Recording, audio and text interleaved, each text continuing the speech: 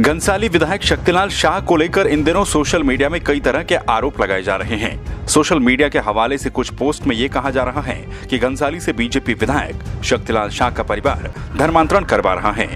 इस मामले पर अब विवाद गहराता जा रहा है। वहीं अब घनसाली विधायक शक्तिलाल शाह ने भी इस पर अपनी सफ़ाई दी है। दरअसल कुछ दिन पहले घनसाली से बीजेपी विधायक शक्तिलाल शाह के हुलाना खाल स्थित पैतृक आवास और उनके भाई के द्वारा संचालित एनजीओ के कार्यालय का एक वीडियो सोशल मीडिया पर वायरल हुआ। इस वीडियो में उनके आवास पर एक धर्म विशेष की तस्वीर नज़र आई और इस तस्वीर और वीडियो के वायरल होने के बाद ये विवाद शुरू हो गया। वहीं अब शक्तिलाल शाह ने कहा है कि संगठन और विपक्ष के लोग साजिश के तहत ये काम कर रहे हैं। शक्तिलाल शाह का ये भी कहना कि कुछ लोग राजनीतिक द्वेष के चलते उनके और उनके परिवार पर धर्मांतरण को लेकर सोशल मीडिया पर अफवाहें फैला रहे हैं। इन लोगों को कोई मुद्दा नहीं मिल पा रहा है। अब ये मेरे व्यक्तिगत चरित्र पर उंगली उठाने की बात कर रहे हैं। मैं आपको विश्वास दिलाता हूँ कि मेरे सामने जो विषय आए हैं, ये मैं इनको कोर्ट में भी चेतावनी देने का काम करूँगा। मैं इनको किसी भी हिसाब से, किसी भी तथ्य पर बख्शने का काम नहीं करूँगा। मेरे मन को बड़े ठेस पहुँची है। मेरा, मेरे, मेरी भावनाओं को बड़ी ठेस पहुँचने का काम किया इन लोगों ने। मेरे चाल चरित्र पर उंगली उठाने का, मेरे व्यक्तिगत चरित्र पर उंगली उठाने से पहले इन लोगों से मेरे से संवाद कर देना चाहिए था। भैया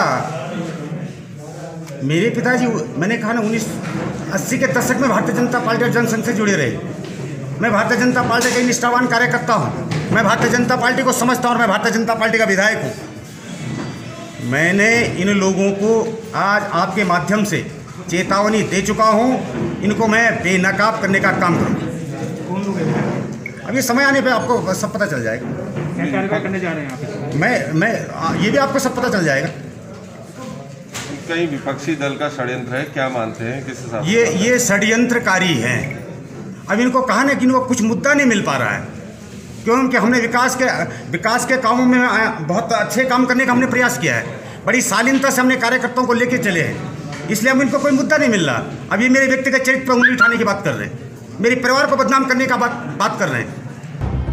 बहरहाल, एक वायरल वीडियो से कई लोग घनसाली विधायक पर सवाल भी उठा रहे हैं। तो वहीं, विधायक इस मामले पर अपना पक्ष भी रख रहे हैं। अब देखना यह है कि ये विवाद आगे क्या मोड़ लेता है। संवाद 365 के लिए टिहरी से बलवंत रावत की रिपोर्ट।